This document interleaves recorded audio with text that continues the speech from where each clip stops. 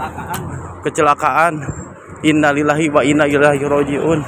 Dewi Dewi Insan. Insan Dewi Insan kecelakaan barusan Dewi Insan Dewi Insan Kejadian tabrakan mau terjadi di Jalan Tol Cisumdawu pagi tadi. Dampaknya, dua korban. Diketahui, identitasnya adalah Usep Ihsan Kamil berusia 39 tahun, warga kampung Lembur Picung, Soreang, Kabupaten Bandung, dan Rizky Nurcahya Laksana Putra berusia 21 tahun.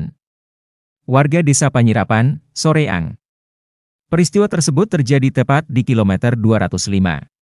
Tepatnya di Dusun Cacaban, Kabupaten Sumedang, menurut Kepala Unit PJR Tol Cisumdawu, Dasep Rahwan, kecelakaan itu terjadi saat kedua kendaraan melaju dari arah bersamaan. Yakni, dari arah Bandung menuju ke arah Dawuan, kemudian, polisi menduga pengemudi mobil minibus Daihatsu Luxio berplat nomor D, 15, 40 YBK kurang berkonsentrasi saat berkendara. Sehingga tak bisa mengendalikan kendaraan secara maksimal.